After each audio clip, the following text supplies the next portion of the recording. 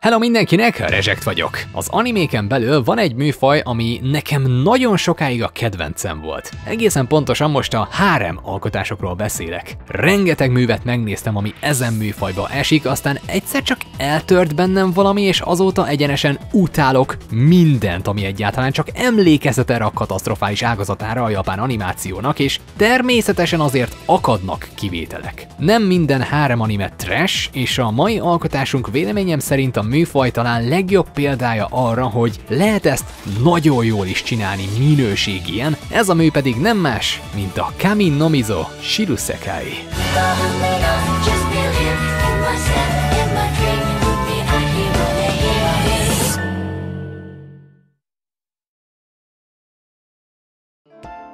Amikor ide születünk erre a világra gyerekként, minden ideálisnak hat. Azt hiszük, hogy a világ tökéletes, aztán lassacskán elkezd szétesni a képe, ahogyan egyre többet látunk belőle, majd egyszer csak rádöbbenünk arra, hogy a valóság amúgy egy eléggé nagy csalódás. Amikor ez nekem is kattant a fejemben gyerekként, eleinte nem voltam hajlandó beletörődni, azt hittem, ha elég erősen ragaszkodok az elképzeléseimhez, az ideájaimhoz, azzal valamilyen hatást tudok gyakorolni a világra, de ezért erőszakosnak, forróvérűnek, lázítónak, arrogásnak bélyegeztek meg a körülöttem élő emberek, olyas valakinek, akire nincsen szükség. Elvégre aki feladta, annak fáj látni azt, hogy valaki még küzd az árral vele ellentétben. Az ilyen emberek fertőző negativitása pedig könnyedén elveszi akárkinek a lelk lelkesedését, és elkezdődik a beletörődési fázis, amit amúgy sokan felnövésnek hívnak, tévesen. Felnőni nem azt jelenti, hogy megtanulod hol a helyet, hogy a te tetteid súlya mennyire elveszik egy ekkora világban, hogy te nem számítasz, az élet lényege nem az, hogy megtörjön téged a társadalom rengeteg begyöpösödött téveszméje, hanem az, hogy boldog emberré váljál, aki büszke tud lenni magára. Ezt évekbe telt, hogy felismerjem, és ezen éveken keresztül megrekedtem, mert nem voltam hajlandó elfogadni a valóságot, így úgymond beleszorultam egy átmeneti fázisba, ami elvileg nem kéne, hogy túl sokáig tartson, de nekem tíz éven betelt. Belemenekültem a videójátékok, animék és könyvek világába, mégpedig olyan szinten, hogy a valóságot úgymond sikerült elfelejtenem, megtagadnom. Innen van a nevem, reject, mint elutasítani. Ebben pedig egy fura büszkeségre leltem, mert nem voltam hajlandó sem meghajolni, sem megtörni. A lázadó korszakom nem azzal telt el, hogy a szüleimmel szembeni tehetetlenség ellen lázadtam, hanem makacs módon úgy döntöttem, hogy ha ennek a világnak nincsen szükség egy olyas valakire, mint én, akkor nekem sincsen szükségem egy ilyen világra, mint ez. Így pedig fogtam és elzárkoztam. Ja, ez amúgy egy tökéletes mentalitása öngyilkos akarsz lenni, szóval ne utánozzátok! Mondjuk ez nálam nem következett be, mert túl makacs voltam feladni az életemet, tettem magamnak egy ígéretet, hogy legalább egy pár évtizedet leélek még, hát ha felfedezek valamit, aminek úgy érzem érdemes élni. Sok-sok éven keresztül beletemetkeztem különböző médiumok alkotásaiba, időközben pedig lassacskán rátaláltam önmagamra. Megtaláltam a válaszaimat a kérdéseimre, hogy miért akarok élni, hogy milyen emberi akarok válni, hogy milyen az ideális felnőtt önmagam, és amikor felálltam a számítógép elől, amikor letettem a könyveket, hogy visszatérjek az életbe, arra jöttem rá, hogy valami nagyon nem stimmel velem. Az előző évtizedben valami drasztikusan átalakult bennem, amit nem vettem észre. Eltűnt a realitás érzetem. Mármint teljesen. Annyira belezárkoztam a virtuálisba és a fantáziába, hogy a valóság számomra teljes mértékben érdektelenné vált. Tudat alatt elkezdtem úgy kezelni az életet, mint egy minigémet egy szerepjátékban, amin muszáj átesni. Többé már nem vártam semmit sem a valóságtól.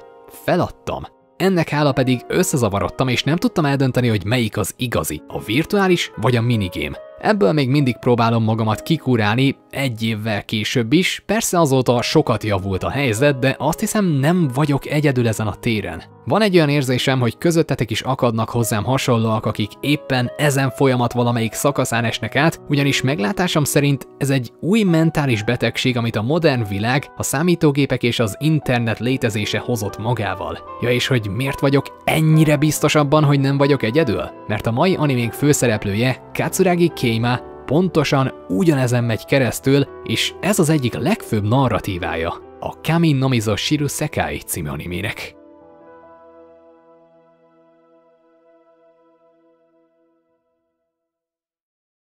Mondjuk ehhez képest a történeti ív ízig-vérig egy romkom hárem alapanyag, viszont egy extra fordulattal, de kezdjük az elejétől. Katsuragi Kéma a főszereplőnk éli a kis életét az alternatív Japánban, egész nap vizsgál noveleket meg JRPG-ket függ még iskolában is, az interneten pedig kapott egy becenevet az online közösségtől, és ez a hódítás istene, Otoshigami. Azért kapta ezt a becenevet, mert csak és kizárólag randi szimulátor elemeket tartalmazó játékok tudják felkelteni az érdeklődését. Kéma teljesen elzárkózott a valóságtól, kiveszett belőle az érdeklődés a 3D irányába, egyfolytában racionális a felszínen és csak a játékok hoznak ki belőle tényleges érzéseket. Ezt a gondtalan életét éli, amikor is egy nap kap egy nagyon fura üzenetet. Egy kihívás szerűség szerepel ebben a mailben, hogy vajon tényleg minden lányt meg tud hódítani. Ezt a kihívást pedig azonnal elfogadja el végre a büszkesége múlik rajta, ám hamar kiderül, hogy ez egy szerződés volt, mégpedig egy démonnal, a pokolból. Így pedig rövidesen beköszön az életébe egy imádnivaló démonlány, röviden Elsie, aki késztények elé állítja a főszereplőnket, hogy a szerződés miatt kapott egy nyakörvet, ami lerobbantja a fejét, ha nem tesz eleget neki. Ja és hogy mi a lényege a szerződésnek? Nos, a pokolban elszabadult egy pár démon lélek, és azok átléptek az emberek világába, ezek a lelkek pedig a lehangolt lányok szívében következett réseket meg tudják szállni, és ezen negatív érzelmekkel táplálkozva szépen lassan egyre erőteljesebbé válnak, addig a pontig, hogy komoly problémát jelenthetnek. Ezeket a gonosz lelkeket tehát minél hamarabb ki kell űzni a gazdatestekből, és a legjobb módszer erre az az, ha a lány szívében lévő rést betölti egy intenzív érzelem, mint például a szerelem. Így pedig a 2D megszállott hódítás istenének nincsen más választása, mint valódi lányokon alkalmaznia a rengeteg felhalmozott tudását. Ez eddig egy standard hárem alapkoncepciónak tűnik, de figyelj, most jön a csavar akiket a főszereplőnk meghódít és ezáltal kiűzi belőlük a menekült lelket, nos, ezek a személyek teljes mértékben el fogják felejteni Kémát és hogy mi volt közöttük. A főszereplőnk viszont megtartja minden emlékét. Így pedig kezdetét veszi a történet, ahol Katsuragi Kéma próbálja a fejét a nyakán tartani, miközben sorozatosan hódít meg újabb és újabb lányokat, akik elfelejtik őt a végén. Vajon Kéma meg tudja állni azt, hogy beleszeressen valamelyik lányba? Vajon meginog az elhatározása, hogy a valóság jelentéktelen? Egyáltalán mindig sikerülni fog neki ez a művelet? Na ezekkel a kérdésekkel indul az első rész, és innentől folyamatosan csak fokozódik, a meghódítandó lányok egyre nehezebb esetek lesznek, akkor szépen lassan megismerjük a pokol, illetve az egész lélekvadászat működését és jelentőségét, ami magával hoz rengeteg fordulatot, így egyre intenzívebbé válik az eleinte még nagyon nyugis, játékszerűen egyszerű alapkoncepció. Bár eleinte az anime az abszurdsága miatt viccesnek hat, szépen lassan egyre realisztikusabbá válik, illetve ami a legfontosabb, nagyon komolyan veszi magát. Ez a legtöbb hárem animének nem állna jól, mert eleve a műfaj egy túltolt ideál, hogy de jó lenne, ha nem kéne semmit sem tennem annak érdekében, hogy népszerű legyek. Mármint most tényleg, a hárem műfajnak kettő nagyon irritáló vonása van véleményem szerint, az egyik a sötét főszereplő, aki nem vesz veszi a lapot, még akkor sem, ha a csaj nyíltan kimondja az érzéseit, a másik pedig az, hogy ok nélkül csajmágnes a főszereplő. Mondhatnék most címeket, de nem akarok újjal mutogatni, illetve valószínűleg holnap reggelig itt lennénk, ha most elkezdeném sorolni őket. Mondjuk hála a jó égnek ezt a két hibát kiküszöbölte a Kaminomi, ugyanis a főszereplőnk Kéma még a legapróbb jeleket is észreveszi egy lányon, ha érdeklődik az irányába, ezen felül pedig kőkeményen megdolgozik azért, hogy felfigyeljen rá az adott hölgy. És mindezt annak a tudatában teszi, hogy el lesz felejtve utána. Időnként látni kém a szemében azt, hogy meginog, egy-egy gyenge pillantása mindig akad egy hódítás során, így érezhetően fejlődik a karaktere, de az a baj, hogy nem látjuk ennek a végeredményét. Az anime három évados, 3x12 részes, és emellett még van négy ovája, amiket meg kell nézni, mert a főtörténeti ív részei. Tehát összességében úgy cirka 40 rész ez az alkotás, viszont nem ér a manga végére.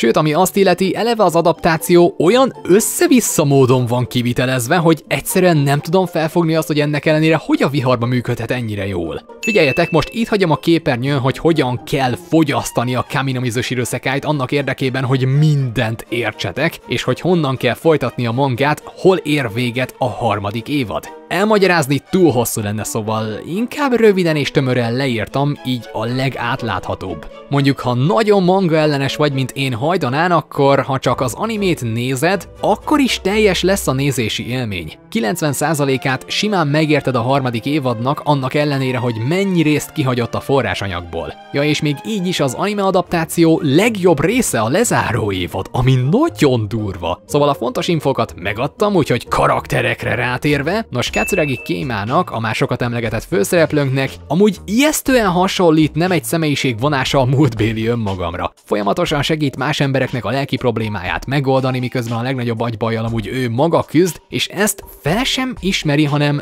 büszkeségét leli benne. Azt hiszi elzárni az érzelmeit a külvilág elől annak érdekében, hogy megőrizze a belső gyerekes ényét egy jó dolog, de ezzel saját magát állítja meg a fejlődésben. Persze korai érett a srác, ezért nem jön rá arra egy hamar, hogy kezd elmaradni a többiektől, de így, hogy ezen én már átestem fura a vele kapcsolatos komikus pillanatokat, inkább fájdalmas tragédiának éltem meg nézőként. Ez az anime titkon egy tragikomédia. Kémát, ha érdekelné a valóság, kegyetlenül megviselni az, amin keresztül kell mennie, de mivel ő is minigémként tekint rá és nem veszi komolyan, viccesnek hat az abszurd megvalósítás. Legalábbis amíg észre nem veszed az apró gyenge pillanatait. Amíg nem látsz a felszín alá, hogy mennyire szomorú az ő karakter tematikája, egészen addig egy minőségi komédia animének tűhet a Kaminomi. De amint feltűnnek az aprócska pillanatok, hogy mekkora mélysége van a szereplőknek, és legfőképpen a főszereplőnek, drasztikusan átalakul a nézési élmény.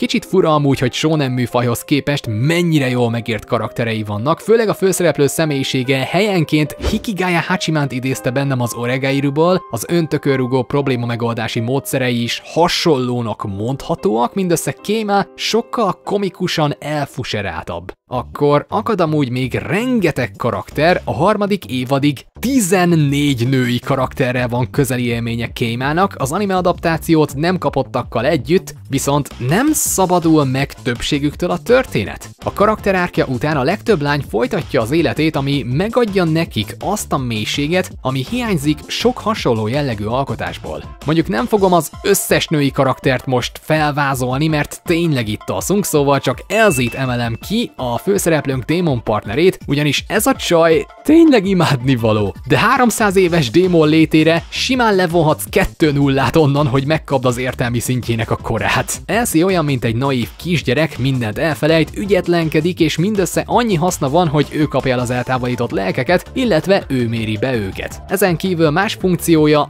nem nagyon van, ami miatt Kéma rendszeresen gúnytűz belőle, de egy idő után kialakul közöttük egy már-már testvéri jellegű dinamika. Lassaskán úgy kezdenek el viselkedni, mint egy húg és egy báty, és nem, nem az animésen eltúlzott bizarr testvéri kapcsolatra gondolok most. Illetve Elsie bár eleinte nagyon egyszerű karakternek indul, ahogyan beilleszkedik ebbe a világba és barátokat szerez, szépen lassan neki is elkezd mélyülni a személyisége, kivéve mikor tűzoltó.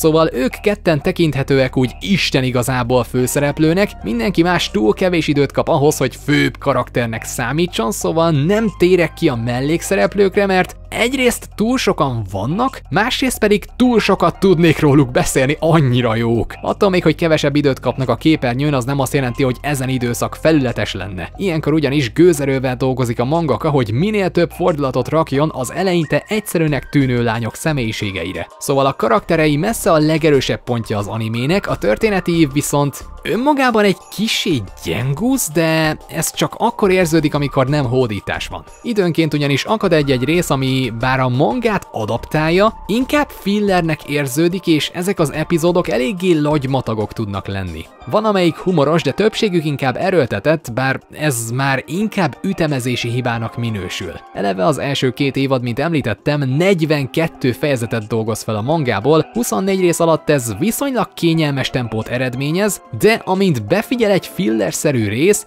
eléggé könnyű elveszíteni az érdeklődést. Mondjuk ezek a részek egyenként vannak elszorva, hála a jó égnek, így ha maratonozod, fel sem fognak tűnni, de ezzel szemben ott a harmadik évad, ami meg olyan tempós, mint az állat. Nem nevezném túl gyorsnak, meg eleve érthetően felpörögnek az események a klímoxnak a megérkezése miatt, de azt a rohadt, ezt a részt nehéz nem egyben letolni. Lerágtam az összes körmömet, pedig már egyszer láttam 6-7 évvel ezelőtt. Nagyon ritka az, hogy ennyire izgalmas tud maradni egy alkotás első nézésen túl. Na de lassacskán rátérve az animációra, nos a Kami Nomi minden évadáért és részéért a Manglove nevű stúdió felelt, akiknek amúgy nem egy régi nagy címet köszönhetünk. Ők animálták például az Ergo Proxit meg a Samurai Champloo-t is, szóval nagy múltal rendelkező animációs stúdióról van szó, akik 6 évvel ezelőtt 2015-ben sajnálatos módon eladósodtak és becsődöltek.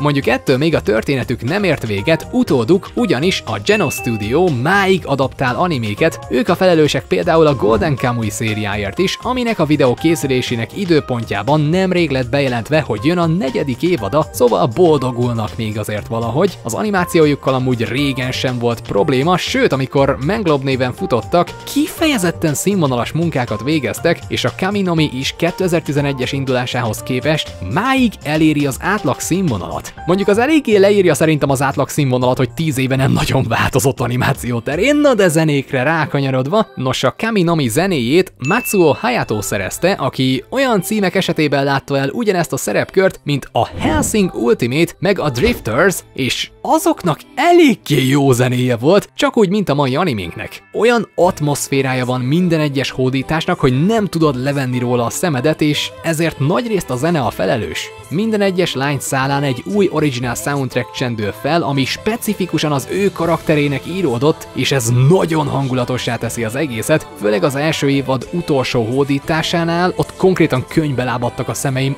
annyira szép volt, mind az animáció, mind a zene, az openingek közül pedig egyedül a másodikat skipeltem el párszor, endingek meg hát uh, annyira nem hatottak meg, na de... Ha szereted a három anime alapkoncepciót és úgy érzed szívesen megtapasztalnál egy kicsit komolyabb hangulatvételű alkotást ezen műfajon belül, vagy ha netán pont, hogy már kiábrándultál hozzám hasonlóan ezen ágazatából az animéknek, hogyha kedveled a jól megírt főszereplőket, a kellően kidolgozott mellékszereplőket, vagy pedig egyszerűen csak ki vagy éhezve egy igényes romantikus animére, mindezt színvonalas animációval és egy nagyon jó original soundtrackkel kiegészítve, na akkor eljött az ideje annak, hogy adj egy esélyt a Kami Nomizo Shiru Sekai című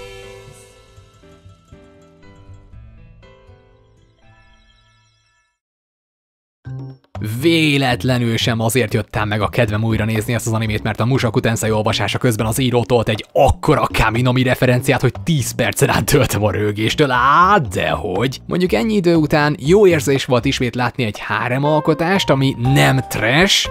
Na de ha meghoztam a kedvedet a Kaminomi Zoshiru Sekai című animéhez, akkor jó szórakozást kívánok hozzá!